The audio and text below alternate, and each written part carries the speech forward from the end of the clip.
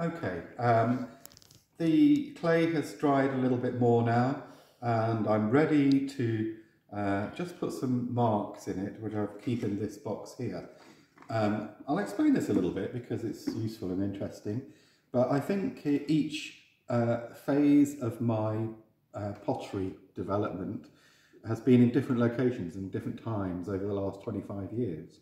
And uh, so during that time, I've collected different things uh, to be a register of where I was and who I was at that time, and uh, that I'm involved in a process, a long-term process.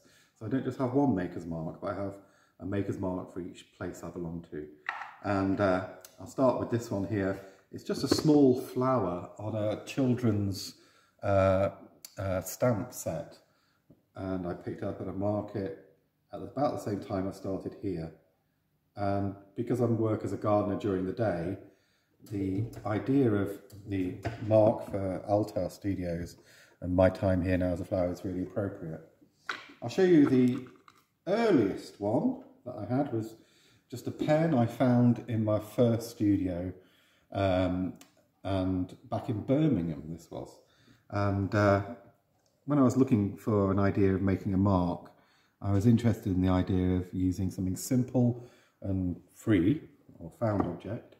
Um, and I, I like the idea of being able to use the circular end to make a circle. And then because my name's Andrew, I use three points in that circle that would be three points of the letter A, if you can imagine that.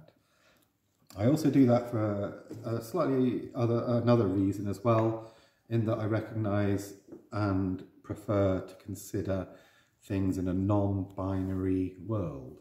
I think uh, the idea of looking things at different perspectives within a triangle often makes more sense than seeing it in a binary way. Um, I also lived for a little while and worked for a little while in London and I found this on the street there, which is, I think, probably off a coat or a button or something, and it's a crown. And I thought that was kind of appropriate um, because I, I lived and stayed in Hammersmith at that time, and uh, I often went past Buckingham Palace on the way to the centre of the city. Um, got another one here. That's one there. And again, I found piece of metal on the street. And I lived in Manchester for a little while. And if you can see here, there's a sort of an M shape and whatever else it is. Uh, and so that reminds me of when I used to live there and the things I learned there. Um, a little while later, uh, I, I, I, made a trip to Australia and on the way I went to Singapore and to Hong Kong and uh, I think I got this in Hong Kong at a market, and um, uh, it's actually a, a, calligraphy stamp.